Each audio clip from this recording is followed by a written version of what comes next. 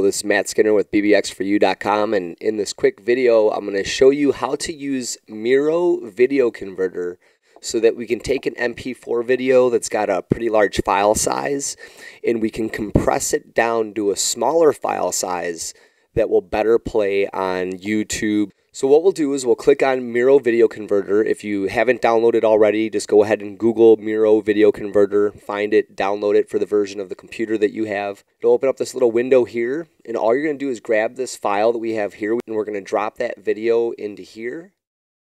And then we're going to go down to Format, and we're going to hover over Video and go to MP4, just like that.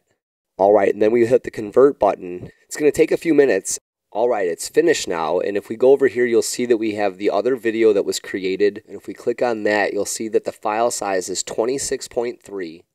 If we click on our old file, we'll see that it's 91.9, meaning that it more than three times compressed it down to a file size that will better playback on the web. So this is how you use Miro Video Converter to convert and compress your videos down to a smaller file size so that they'll have better playback on the internet.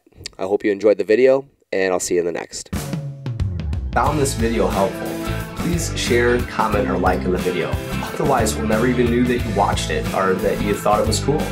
With that said, have an excellent day.